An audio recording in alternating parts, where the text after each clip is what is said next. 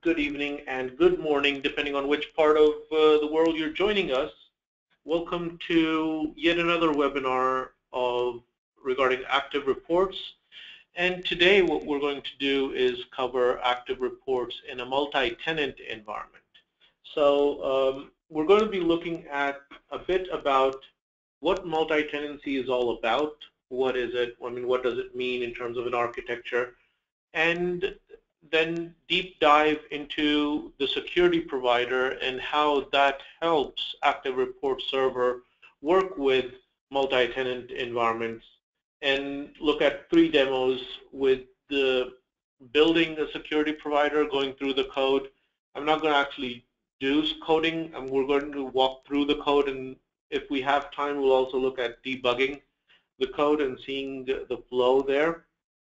And then we're going to look at how multi-tenancy is implemented in the two different uh, designers um, and report types that we have. Um, we're going to focus on RDL reports and the semantic reports with data models. So those are the two, the three demos that we're going to get into. And at the end, we'll have a question and answer round.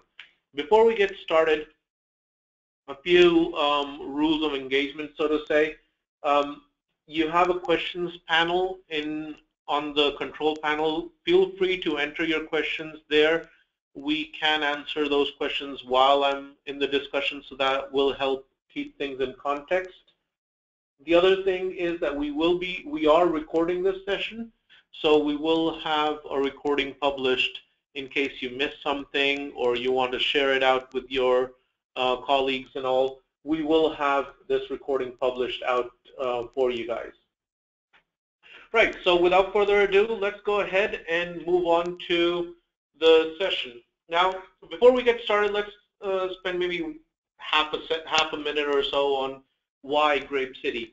Um, if you're not aware of Grape City uh, in the uh, and you haven't visited our website, Active Reports is an award-winning product, uh, flagship product for Grape City uh, regard when it comes to reporting and business intelligence. For the last 20 years, developers have been using active reports to integrate reporting and embed reporting within their applications, whether it's WinForms applications, web, web applications, or even all the way back to ActiveX and COM.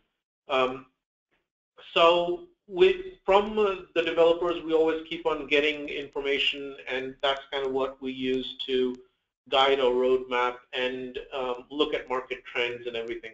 So um, this came, um, multi-tenancy is one of the key things that people are asking for these days, given the fact that there's a lot of SaaS-based products out there, a lot of web-based products where a single instance of a product is really looking at multiple independent groups.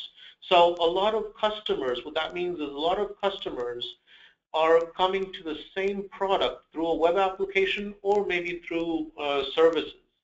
Um, to segregate or use the same server as their source for business logic and the business application. Um, an example may be a payroll system or an HR system or an ERP system even if you have an on-demand version of those.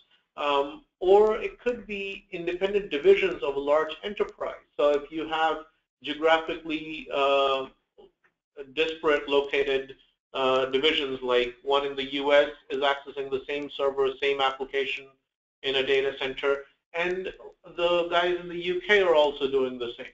The key thing there is with multi-tenancy, you need to keep data secure and access rights of the data are very important.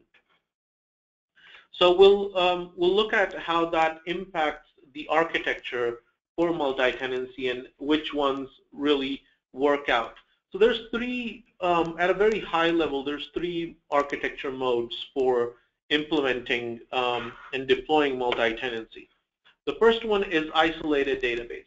Now what that means is here we have our application as Active Report Server, but this could be, this would be your product.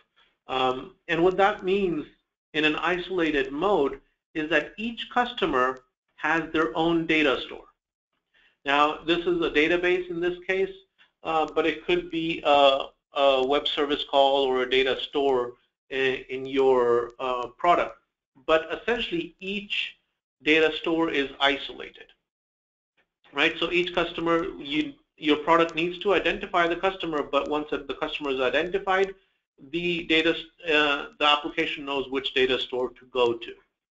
Um, in a shared database mode, which is the image down here, um, the customers are all going to the same data source or the data store is the same, but it's shared. All the data being in the same table, you have filters on the rows. So the rows are filtered out so that only certain rows are available to certain users. So again, it is still important to authenticate and validate who the customer is and who the user is who's logging in. With the hybrid mode, there's two ways. You can either go to a schema level uh, isolation, so rather than whole databases, you um, separate out um, your single database into multiple schemas. Right? So each customer goes to a separate schema, but in the large scheme of things, you're still looking at the same database. Or you can do a combination where you have uh, maybe two customers going to one database and um, one customer going to another database. So you can have a combination of isolated as well as shared in your environment. So depending on what you have, let's go ahead and look at which one really fits into your uh, environment. So let's look. Let's run a poll here. Let's. I'm going to launch this out. So let me know which environment or which mode of architecture of uh, multi-tenancy are you guys using? So I get a lot of people, well, it's actually now a 50-50 um, distribution. It's changing. So um, most of us are on most of us are on shared database mode. So we'll move on here. I'm going to share with you the results here. So you can see most of us are on the shared database mode. And um, that basically means it's either a um, schema-based separation or a row-based uh, separation. And we're going to uh, look at both aspects today. Um, now, before moving on, there's just one more poll here before we get on to the meat of things. How do you authenticate your users? So what do you use as your authentication mechanism? Is it Active Directory? Is it um, LDAP servers? Is it other single sign-on tools, federated to security and stuff? Or is, is it something that you have built yourself? Um, so I have, well, people are a mix of between, ooh, interesting. So a lot of people have uh, built the security themselves, so that's good. Um, okay, so I get 100% at least they have a custom security module and some of them also have a mix of uh, Active Directory. So this is interesting. First time I got 100% on any one poll option, so that's good. Um, but and we're going to look at how today we're going to look at how the custom security provider with Active Report Server helps with um, setting up um, and integrating with either Active Reports, Active Directory, or with the, um, your custom security module. So let me just close out these polls so I get more space here. Now, so what is the security provider all about? So the inactive report server, the security provider is essentially the layer between all access to data models and reports for the user. So when the user logs into Active, Active Report Server, um, they'll go through the security provider. So um, the security provider will validate, authenticate, and pass on the user role information and the user context values. We'll come to what these user context values are in a sec. But the key things that it'll do is authenticate, validate the user, pass the roles, and pass in information about the user um, in the form of user context values, stuff like tenant ID, customer ID, company ID, user ID, uh, and those are used in terms of permissions and filtering uh, and querying the data when it comes to the data models and reports. Now, um, whether the reports go to the single database or they go to a separate database here, that's something that will be determined based on how you configure the models. Uh, from a from a diagram perspective, we just kept the one server here. Um, right, so moving on, let's go ahead and start, uh, give uh, a look at how, how the security provider is set up and how you customize it. Right, so we're going to look at initializing the security provider, creating a security token, authenticating the user, look at roles, and look at how to provide additional user information. So let me go in here and open up my Visual Studio. Okay, cool. So um, before I get on to Visual Studio and we look at the code here, I'll increase the size here so we can see what's going on. Right? We're going to go in to the admin dashboard and let's look at how you configure a security provider and where it's all where all that configuration is. So in the administrative dashboard, um, in the under security provider, there's an option to choose what security provider, what type of security you want to implement on the server.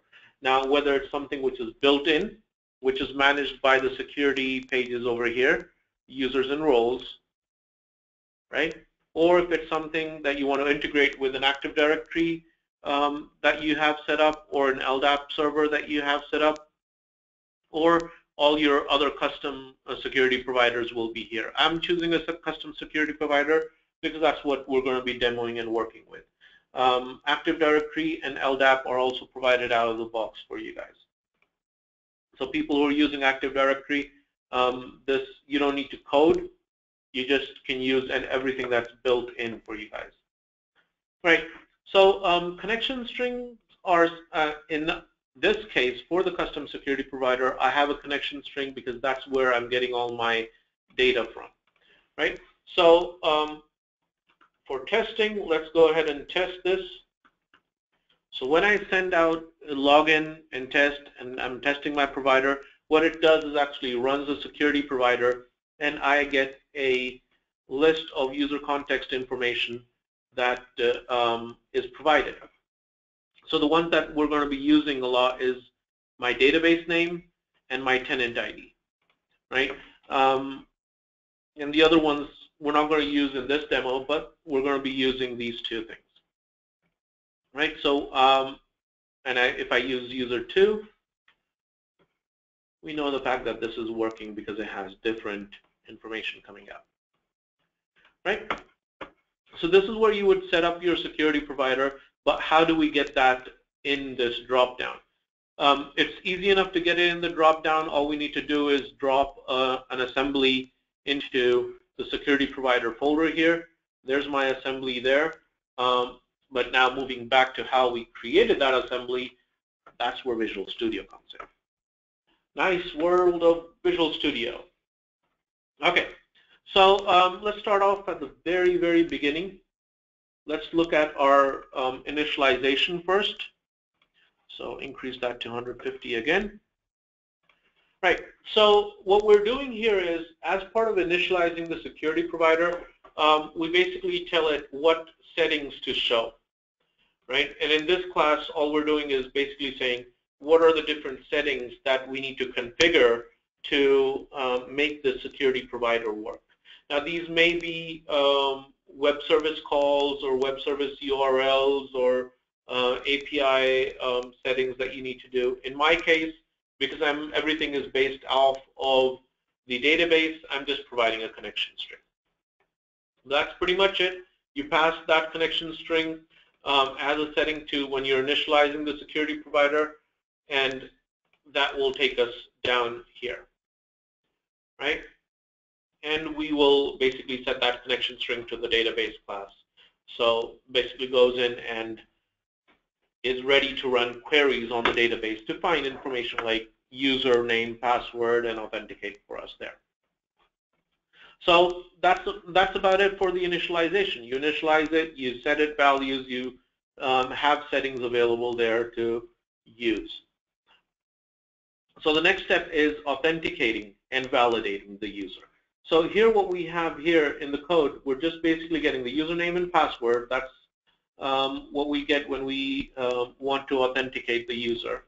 So when the user signs in, he uh, we're passing the username and password to the security provider and any custom information that you want to pass along with that. Right? And once we get that, we basically query, in this case, we're querying the database. Now, this could be essentially a call to your uh, security module to validate whether this username and password is valid. If you already have a token that you're, you're passing through your application, um, it'll probably come up in custom, and you could send that out uh, to you, again, to validate whether it's a valid token in your security um, environment. But at the end of the day, in this case, we're getting a person object, and that object, we're saying create a token from that. And if that object is null, obviously, um, it's an invalid um, user. Right? The create token essentially is concatenating um, the values, um, the properties of this object, putting them into a string, and uh, um, hashing them so that it's not readable. But the key thing is it's able to take that back from the token. It's able to identify the person again, which is important for the validate and important for the other parts of um, the security provider. So here we're just validating whether from the token I can get the person object. If I can't, it's obviously uh, an invalid token. If uh, I can, well, it's a valid token then. Right? Um, we're not worried about the dispose but that's essentially for authenticating and um, validating whether the person is um, authenticated on the server. The security token is the one that's used across the session to identify the user. And as you'll see, even when we're getting the roles, um, we're getting the person from the token. The token is all important here. Now, um, what we get when we're running the filter roles, what we get is a list of roles. Now these are roles that are defined here in our list of roles on the admin dashboard in Active Report Server. So this list of roles is uh, used as an initialization for this list that gets passed through into our visuals, into our security provider. And what we're doing here is getting the list of roles from the person object, getting that list, and from that list, we're saying, um, give me a filtered list of the roles which map to the list of roles which are already available in um, in the Active Report server list of roles. So that came in as a source here. So now with the target or the filtered list of roles, um, we basically pass through um, what, is, what are the roles that the user belongs to at the end of the day. So if we were working with Active Directory, for example, um, and we had um, the user belonging to five roles, out of which only two are really present in or configured with Active Report Server, the subset of the two roles is what will be sent back to the server. Now, what that means on the server side is, in this case, user one is team alpha, so models and reports when we define permissions for models and reports, we're going to be looking at those models and reports which have permissions on Team Alpha, right? So um, they will only be able to see those uh, reports, not all of them. And we'll see that when we come to uh, looking at the report list in the report model, uh, sorry, the report portal. Okay, back to my Visual Studio. So that gives us a list of roles. The next, the third thing that uh, the security provider does is get us all the user context information. So the additional information that we need to identify and um, further uh, provide the uniqueness for the user. So we need to get more access details, stuff like user ID, in our case, the database name, the tenant ID, and that sort of stuff. So um, again, we get the person from the token. We need that object, right? And we get the user context keys, or you get we get the user context values directly from the database. and um, we just create that user context. Now, behind the scenes, what this is doing is it's getting the user context keys, again from the database, right, and uh, um, populating those and adding the values for each of these keys. So at the end of the day, we have a key value pair uh, object that we send out to the server, right? And that's what we saw here when we did the test run. So when we went over here on the user provider, on the security provider, we said user one, password, test provider, this is the key value pair. The first name, demo, last name, user, company name, GrapeCity, server name, local, MS SQL 20, uh, 2012, database, and so on and so forth. Right? The admin context function uh, in the uh, over here is basically just to provide a standard set of default values when we log in as the administrator in the admin dashboard. So the admin context is only used in the admin dashboard. It's not used anywhere else. And it's used to really validate the model um, when we're working with uh, model-based or the semantic reports and implementing multi-tenancy there, as we'll see in a second here. Right? So that's pretty much uh, it for our Visual Studio. What I'm going to do here is let me see if I can, it's not running in uh, um, admin, so let me see if I can do that. It will probably just want to restart. That's okay. This would be a good time to have any questions. We'll have a look at those, restart under different credentials. And what we're going to do is we're going to actually run the um, security provider in debug mode so we can actually walk through in that way as well. So give it a second here. Security provider, that will keep it on the top level. And we're running an admin Is it going to, does it remember? No, it doesn't. So let's go to attach process, show from all users. There we go, and attach. Attach. Okay, cool. So we will put a breakpoint here.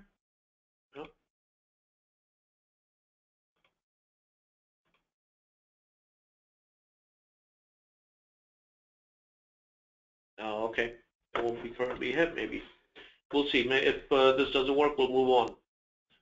Um, so let's go over here and go to security provider, refresh that.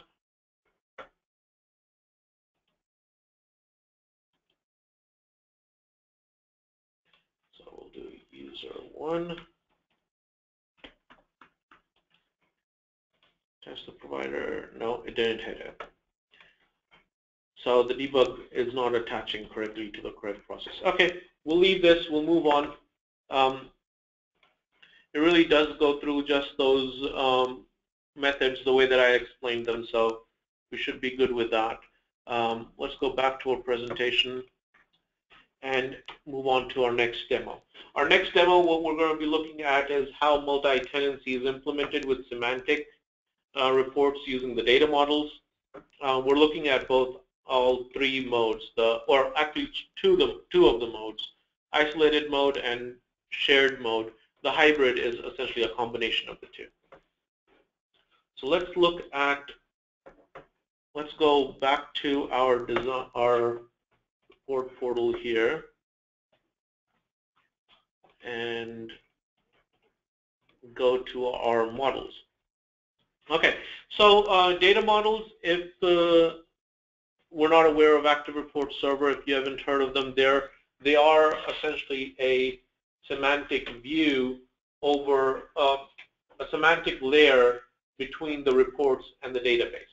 So they define the structure in which, which is used by the users to design reports. So um, what with multi-tenancy, the data models are, are key, right? So they determine, we configure them so that they determine what is uh, um, what is available to the user or not. So they're the ones that are the key users for our user context. Um, in the first case, we're going to be looking at isolated mode. So in that connection string, I'm just going to go ahead and make this dynamic. Use placeholders, user context, dot database name. Right? And what this does is instead of that fixed value, a static value, it's going to pick up the value from the user context database name. It's going to go ahead and validate that, um, whether that is a valid database, it has the correct schema and everything for uh, my entities to work. It does, so we're ready to go. Right, save and publish. Actually, I should not save and publish right now. Let me show you first the raw output, right? User one, password, login. I skipped a step, right? So this is our user one, right? We have favorites, filtered customer list, and this is the list that basically gives me all my customers, whether I'm in, um, whether I'm a specific tenant or not. Right now, we haven't configured the database or the data model in any way to filter uh, content. So it's actually giving me all, um, it's going to give me all the customers. Right, so three-page report. Let's go back and modify that. Or actually, yeah, let's do, we'll modify it. Right, so we'll publish this, and now when I publish it, this model, the updated model is what's going to be used to run the report. Right, so over here, when I run this report again, as the same user, keep in mind customer ABC here, right, without that uh, dynamic uh, uh, database name, and customer XYZ here because the two databases that I'm using have different customer information. Right? Now if I log out of here and say user 2,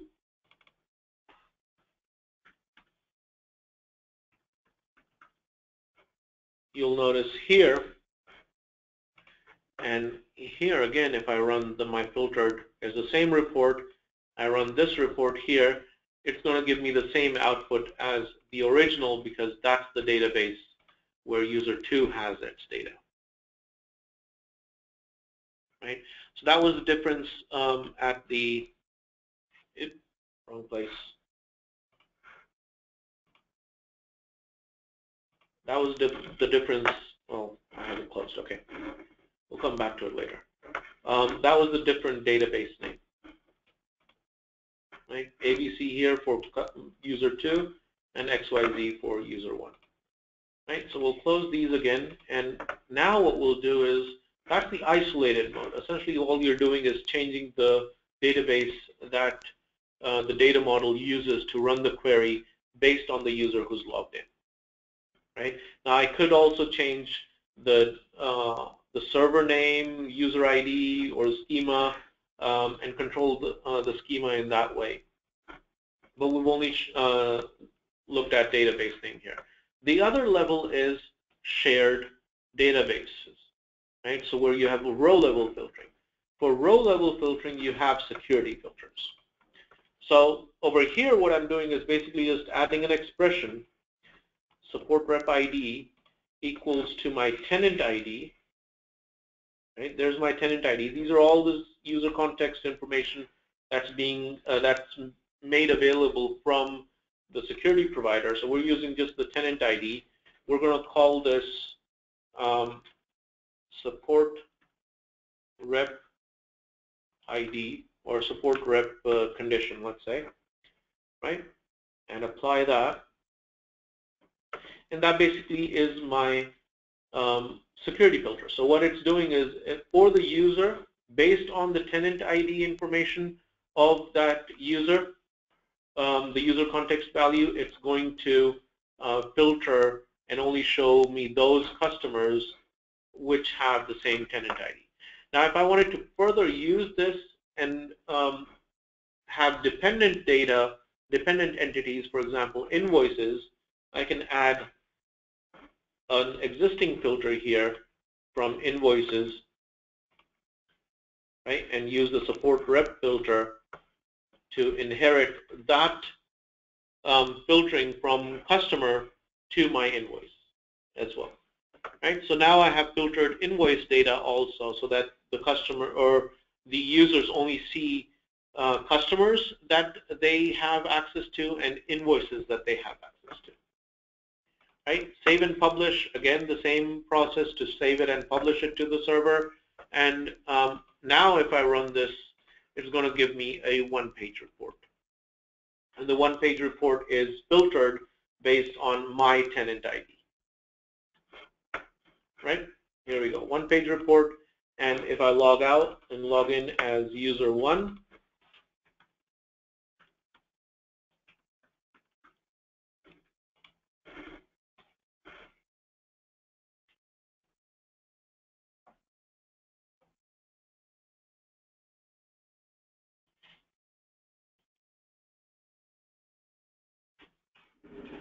Okay. So I, I was just looking at reports. Sorry for the for no sound or no speaking there. I was looking at the questions here, and we'll address them um, a bit. I think I've addressed a few of them already in what I've been talking about, but we'll look at them uh, again in a sec here. So this is uh, user one with the same report. So we have the same report being run, right? And that one gives me XYZ. Again, one um, page filtered list and across different databases in this case because we have the dynamic connection string still in the model. Right, so this actually is implementing shared or in a way a mixed mode because I have a separate database and I'm doing row level filtering. So I could choose which one to use or use them both like I've done here right?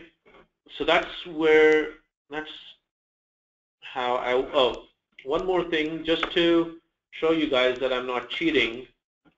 It is the same report, and I don't have any um, special filters or anything going on here. Um, we'll just open the report in design mode using the web-based report designer because that's what we use for semantic reports before we move on to the developer designer we'll use this and show the fact that we don't have any filters. Right, it's taking its sweet time to load. Here's that report, last name, first name, and no filters at all. Right? Cool. So, let's go ahead and close this out. Let's go back to my presentation Right? So that was multi-tenancy with semantic reports using data models. Now let me take one second here, look uh, through the questions.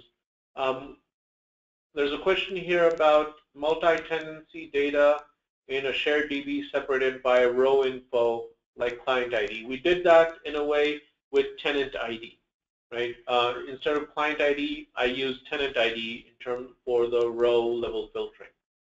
Um, does uh, the server just pass through user credentials to stored procs?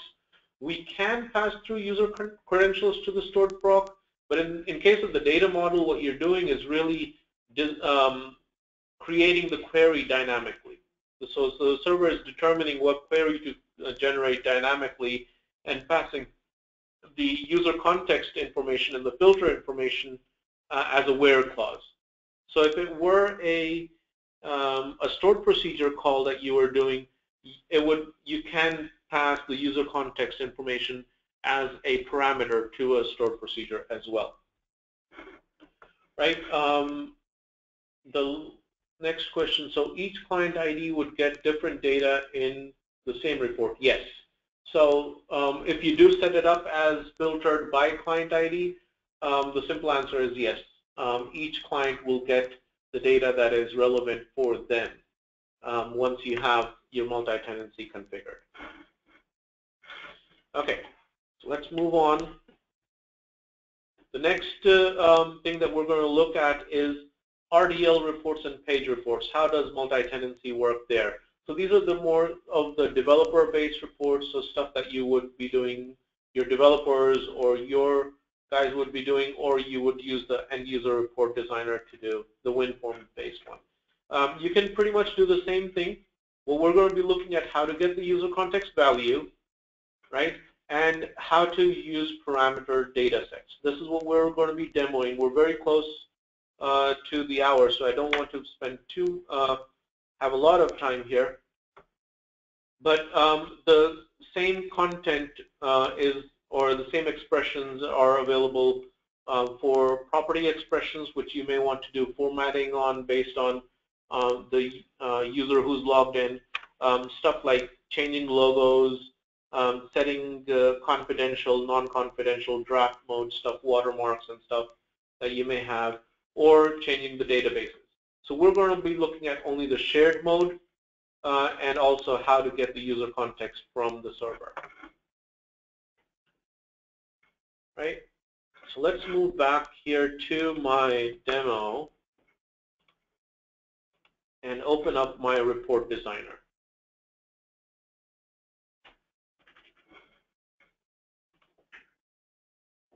Right, so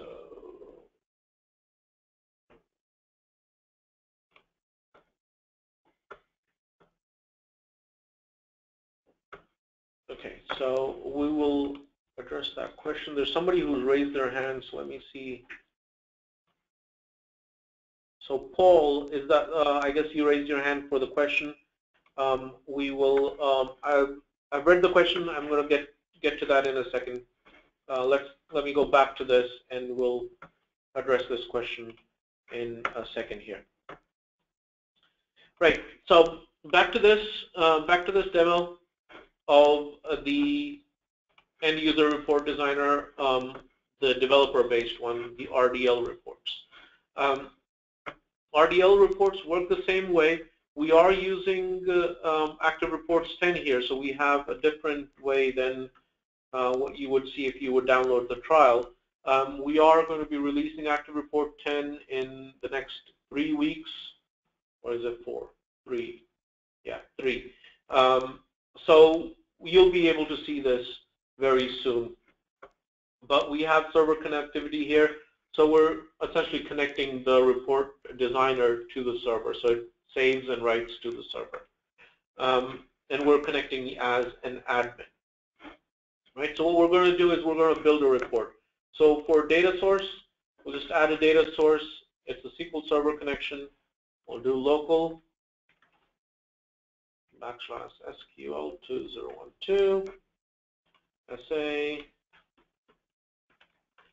password, save my password, and use my active tunes DB. So it's, I'm going to use the same DB here. Um, press OK, and my data source is ready to go. Um, let me go ahead and add a data set, and this is what I want to um, parameterize here. Right, so this is this is the key part of pushing that filter in there based on the user um, based on the user context. Right, so we'll do a customer list. So we're going to do the same thing, the same type of report.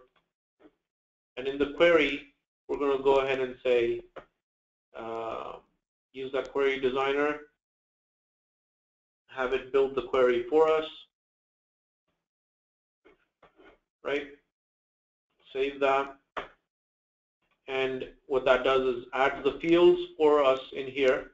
So now we have all the fields, right? And we go back to the query and we say, we add where dbo dot support rep ID, that's the field name for the tenant, right, is equal to code dot user context that's where we're getting it. Get value, tenant ID. Keep in mind this is a case sensitive, so we will have to be careful about the cases that we use. Now this is an expression, it's no longer, no longer plain text, so I'm going to put it as an expression here. So that tenant ID is what we're getting over here from the security provider, Let's go back to our security provider in the configuration. Test that. Oop. Double clicked on it. Come on. Security provider. Back to my configuration. And we say user one. Password. Test provider. Let me just make sure that I got the text right. Tenant ID. So that's five. Tenant ID. I capital, D capital. And I have it the correct way. I have it the correct way. Cool. So we're good to go. We press OK. It's not going to validate because it's not running on server right now. It's a local query. Um, but I have the, the list. So when I save this to the server, it's going to use that user context to pick it, pick up the value. Um, we're just going to do a simple table. So we'll add a table. We'll add last name, first name, company name, add another field to the right, add column to the right, and add phone number. Right, expand these a bit so we have more space. Right, and we, phone number. I think we need more space here for this. Okay, so we have first name, last name. Right, let's add a group as well. So like we had in the other report, insert group. And the group, we're going to base it on the tenant name. That's the name where company ABC or company XYZ. Um, this will be the same for both the users in our case because we're only implementing shared mode um, and it's the same database but we'll do it just for the sake of similarity across the board. And I had blue colors there, so I'm going to use blue here as well. Uh, my blue? Let's do Dodge blue. And let's do formatting of the background. Let's do a light azure color. And format. Oh, I forgot to make that bold. Sorry. That was bold. All of this is bold, and we'll do a background of Gainsboro here, and we're ready to go. So I haven't added any filters or anything, any prompts. This is all built into the query itself. Now when I'm ready with this, I do file, save to server, right? I'm logged into the server already, as we saw here, right? And I'm gonna, we already have RDL filtered customer list, so I'm gonna do a filtered RDL report as my name. Right? Save that and it's going gone to the server.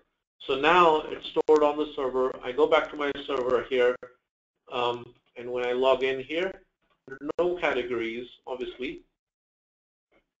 Oh, it's not there. What did I miss? I missed giving security permissions. So in the roles or for, those, for that report that I created, I need to give security permissions. So where's my filtered RDL report? Right here. I need to give the roles permissions to see them. Right? If I don't give the roles permissions, obviously they're not going to see them. That's what we saw over here. So I've given those permissions. I'm ready to go refresh this. This is user 2, I think, or user 1. It's going to get the new report here, right? And we'll run this. And while this is running, I'll go ahead and log out. Well, actually, I'll let it run. It may crash if I log out. So let me look at a one of these questions that's come up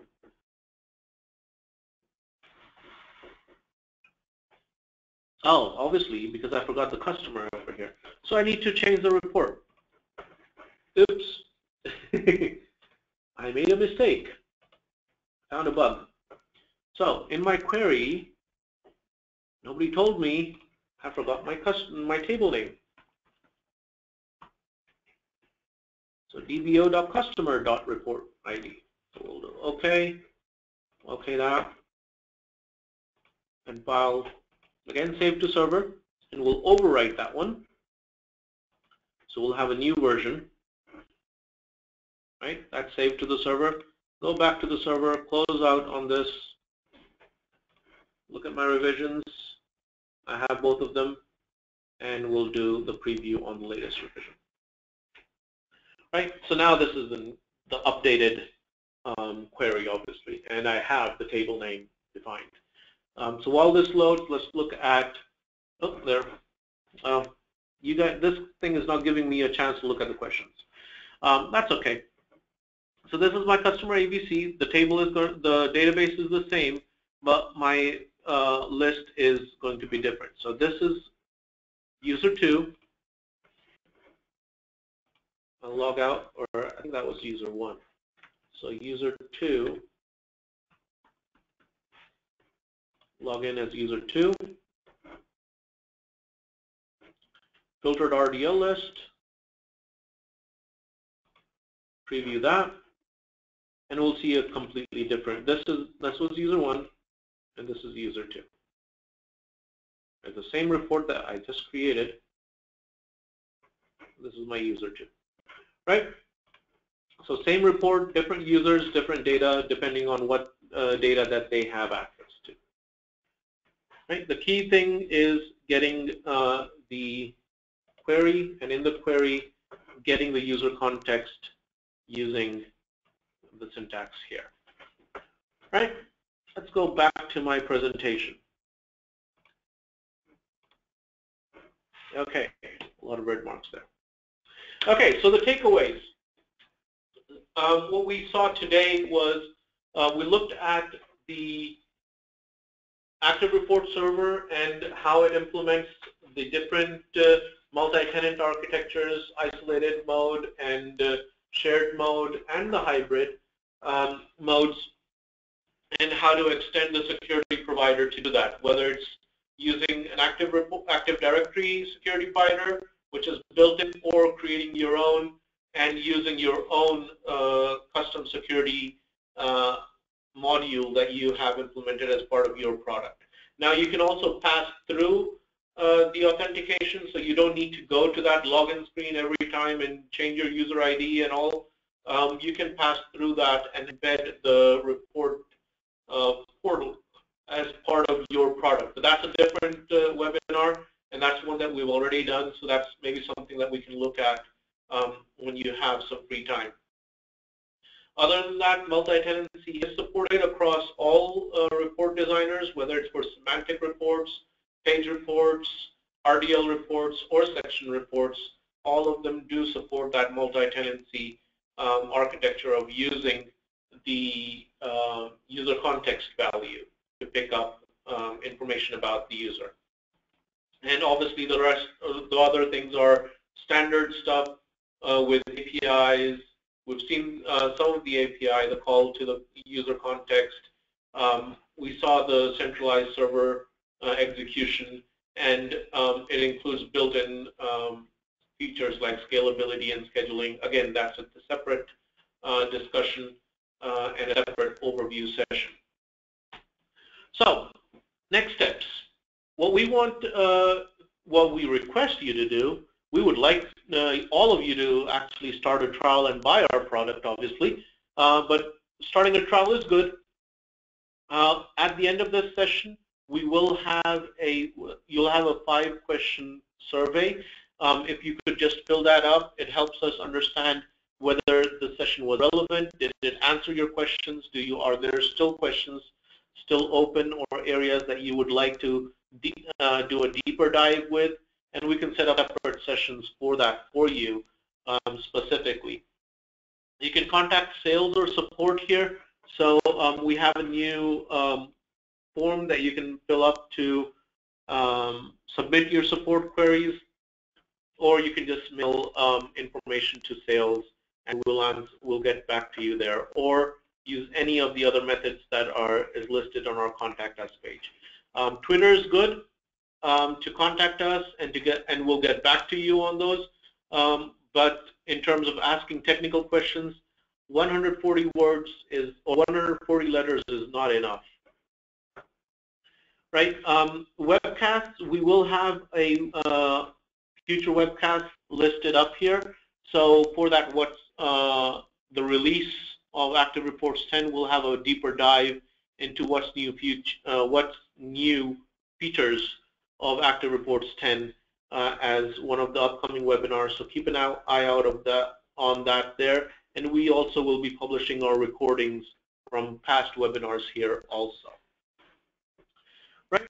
So let's now spend the next five minutes before the hour is done. Let's look at some of the questions. So um, one of the questions is, I think this is the one that Paul you were asking, how to always prevent cross-tenant viewing of data even in ad hoc.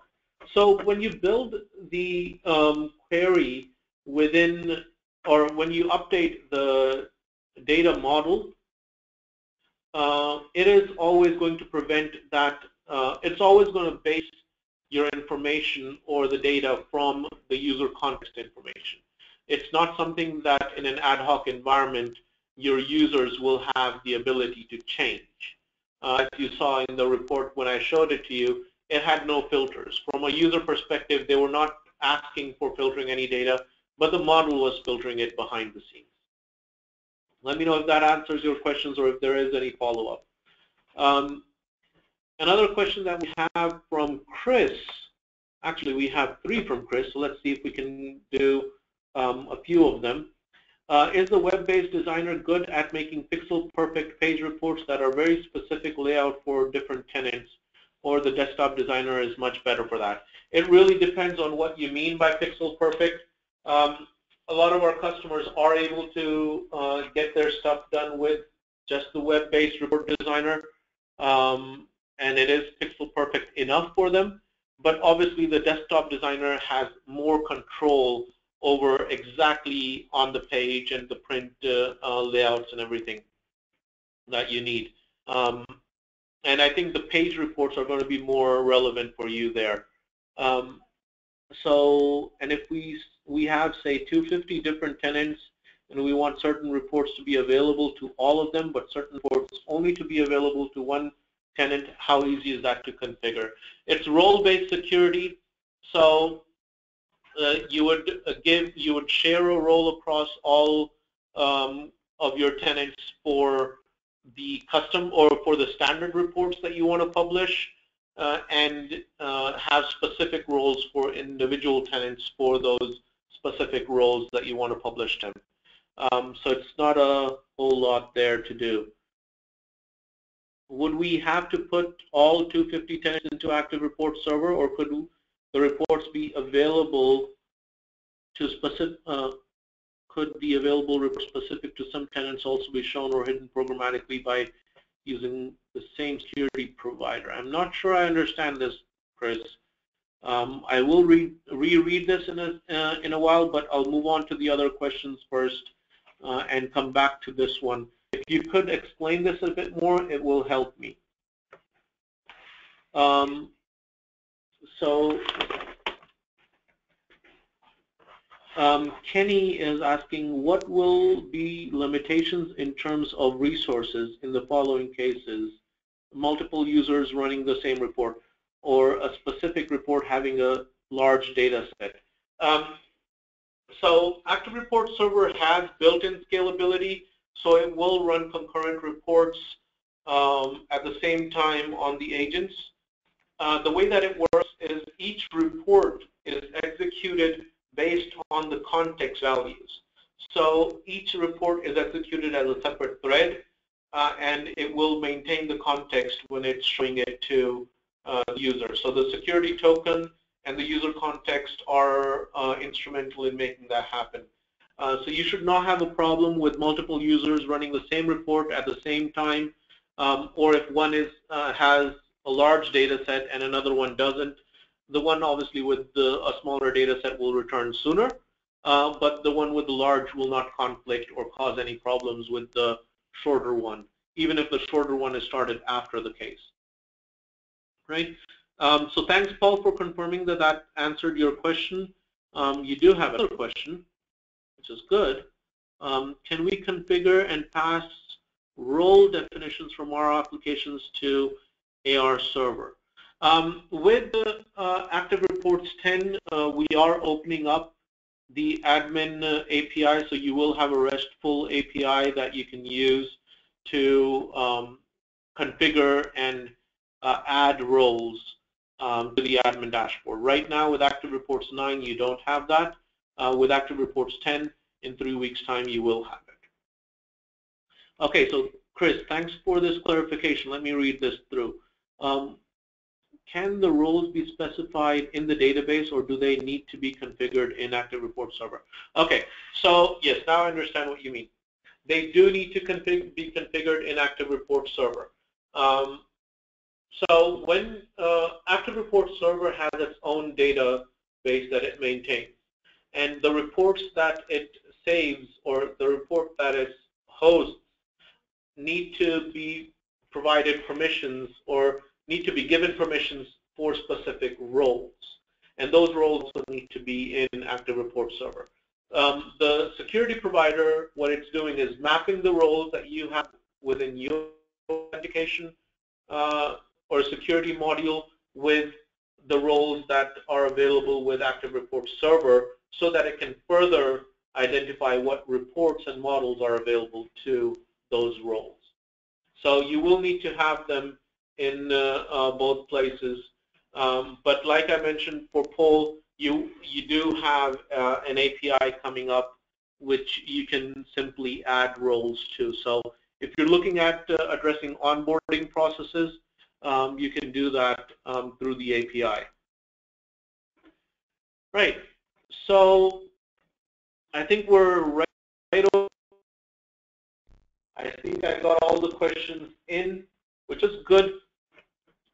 So again, I want to thank you for joining, and I want to remind you to please fill up uh, the survey. It really helps us a lot in terms of figuring out what we want to do next, what you guys want to hear from us next, and whether this information that we shared today was relevant or not. Um, so till next time, thank you for joining, and you guys have a good morning, good afternoon, or good evening, depending on which part of the world you are in again. Um, and we'll all see you next time. Thank you. Bye-bye.